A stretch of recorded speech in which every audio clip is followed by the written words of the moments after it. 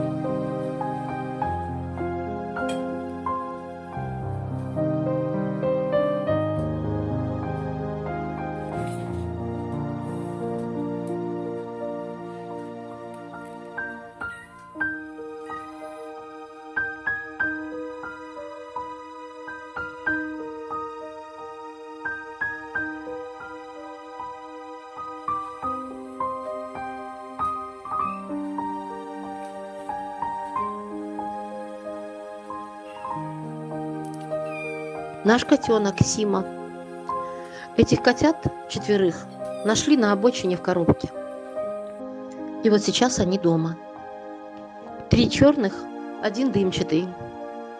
Пока маленькие были более темные, а потом он начал подрастать и посветлел.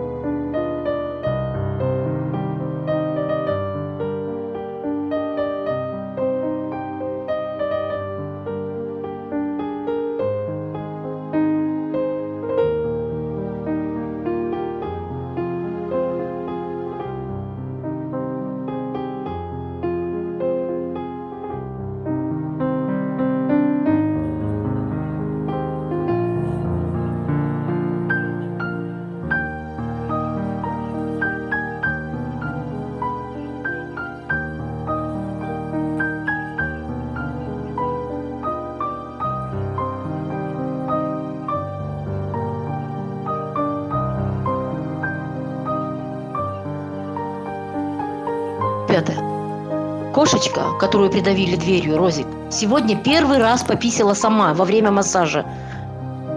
Понимаете, сама. Не надо отдавливать ей животик, она сегодня первый раз пописала сама. Господи, помоги нам.